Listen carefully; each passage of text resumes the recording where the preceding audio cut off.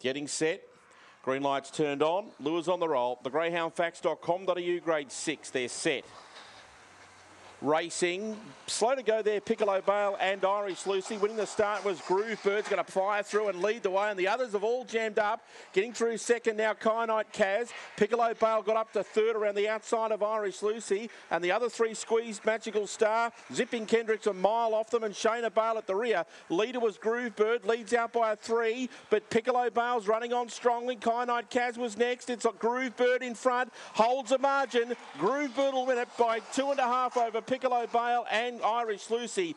Kyanite Kaz held on to fourth, just ahead of Shayna Bale and Zipping Kendrick.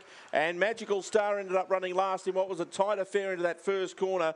But Groovebird gets the win in 29 and 63.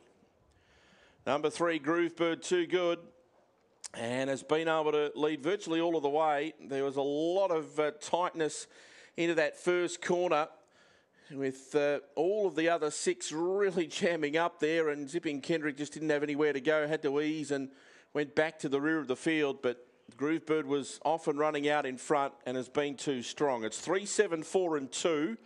3 7 4 and 2 are the numbers on race number 2. 5 11, 1907, 1056, 29 and 63 is the time on race number 2. Groovebird by Need My Money now at a St. West for Jeffrey Britton. It's win number three from 14 starts and just a fraction outside its best time of 29 and 57 with a 29.63 gallop tonight.